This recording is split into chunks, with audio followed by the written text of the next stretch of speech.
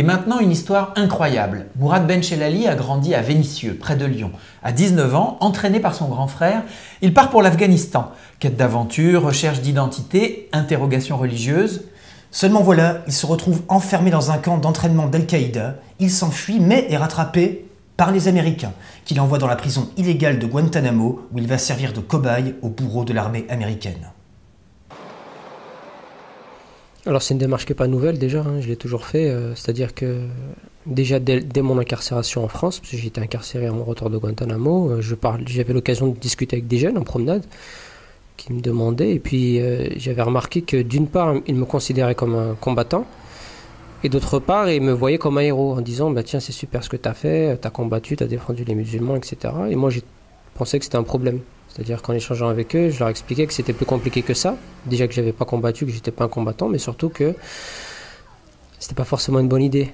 Que je partais du principe que mon voyage vers l'Afghanistan était une erreur. Et puis j'ai continué à le faire. Donc j'ai écrit mon livre, je l'ai fait parce que c'était aussi, une forme de thérapie pour en sortir de mes traumatismes. Expliquer le départ des jeunes par la simple attraction de l'État islamique ou du discours radical, c'est évacuer évidemment les responsabilités collectives. C'est-à-dire que on oublie, Ok, certes, on explique que des jeunes, euh, sont, à un moment donné, ont adhéré à un discours radical, mais on n'a pas expliqué euh, pourquoi est-ce qu'ils y ont adhéré et puis qu'est-ce qui les a rendus plus vulnérables à ce discours. C'est-à-dire qu'on explique que la dernière, étape du processus, mais on n'a pas expliqué tout ce qui était en amont. Des jeunes qui décident du jour au lendemain de partir en Syrie, euh, qu'est-ce qu'ils essaient de nous dire? Est-ce qu'ils n'ont pas leur place? Est-ce qu'ils ont le sentiment qu'ils n'ont pas leur place? Est-ce qu'ils sont en colère par rapport à une situation d'injustice aussi, des victimes syriennes est-ce qu'ils euh, ont le sentiment de ne pas se sentir français? Est-ce qu'ils ont estimé à un moment donné que de toute façon ils n'avaient plus leur place ici, qu'on les considérait comme musulmans et donc mauvais français? Parce a aussi beaucoup de jeunes qui estiment qu'on fait de leur religion un problème.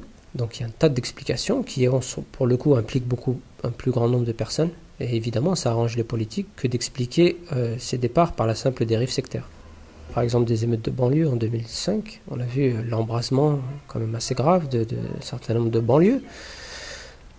C'était quand même assez exceptionnel comme phénomène. Donc il y a bien un problème dans la jeunesse, mais euh, ça n'a pas été au-delà.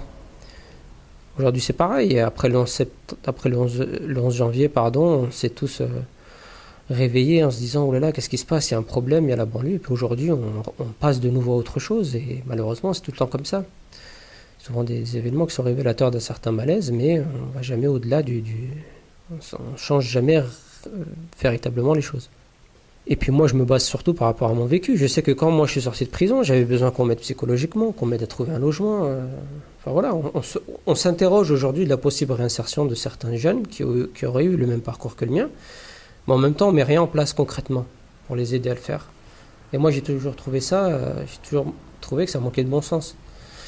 Et donc, euh, voilà, je pense que, ok, euh, il y a un problème, mais qu'est-ce qu'on fait pour régler ce problème, mais de manière plus concrète et plus pragmatique?